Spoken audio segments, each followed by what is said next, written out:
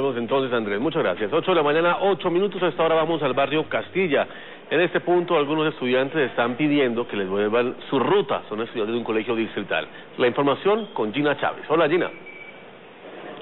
Bueno, pues ahora los saludamos desde el Colegio Castilla, es un colegio distrital ubicado acá en el suroccidente de la ciudad, donde pues a esta hora tenemos la denuncia de varios padres de familia quienes aseguran que los niños en este momento no tienen ruta escolar en las horas de la tarde, son niños de transición de séptimo y de sexto que se ven obviamente afectados. Lina Montaña es una de las madres de familia afectadas. Lina, muy buenos días y bueno, cuéntanos qué pasó con la ruta de estos niños. Buenos días, Gina. Lo que pasa es que nosotros desde hace cinco años veníamos contando con el servicio de transporte escolar.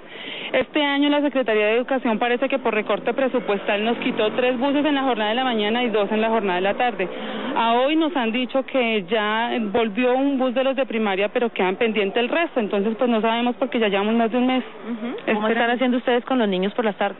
Pues inicialmente nos tocaba en buseta ir y traerlos o en taxi, como fuese, pero ahorita el presupuesto ya no nos tienen a pie. Bueno, pues muchas gracias Alina. Hablamos con otra mamá. Muy buenos días, ¿su nombre? mi nombre es Sandra Rosso. y ¿Cómo se afectan ustedes con esta situación? Pues yo me veo muy afectada porque me, ha tocado enviar el niño en bus y ya dos veces lo han querido robar. Entonces creo que eso es muy peligroso ya para los niños porque son igual niños de séptimo y son niños de edad de 10, 11 años.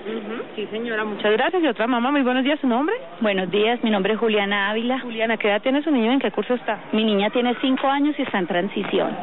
Y pues de verdad me queda muy difícil porque imagínese, yo llego aquí a las 6 de la mañana y me toca quedarme hasta las 10 y 45 que ella sale acá porque pues no hay plata para uno estarse transportando.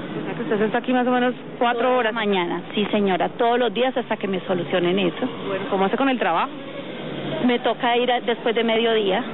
Pues a ellos muchísimas gracias. Nosotros hacemos un llamado entonces a la Secretaría de Educación porque como ustedes lo escucharon, ya parece que esta tarde va a haber uno de los tres buses que les quitaron. De todas formas, estos padres quieren saber qué va a pasar con el resto de los niños porque son niños, como lo escucharon, muy pequeños que necesitan la ruta, que es un peligro mandarlos en bus y que de señores como ella que tienen que quedarse aquí toda la mañana esperando a que los niños salgan del colegio. Estaremos nosotros muy atentos a la respuesta de la Secretaría de Educación que como siempre está dispuesto a atender nuestra solicitud. Estaremos esperando lo que ellos digan y ojalá que lleguen muy pronto las rutas para este colegio. Información desde el Colegio Castilla, estamos ubicados en el occidente de la ciudad. Más adelante nos vemos. Muy buenos días. Muy buenos días, Gina. Muchas gracias y atentos entonces a esa respuesta que nos dé la Secretaría de Educación. Sabemos que siempre nos ven y sabemos que nos van a tener una respuesta pronto. Las cámaras de arriba Bogotá están listas para recibir esa respuesta.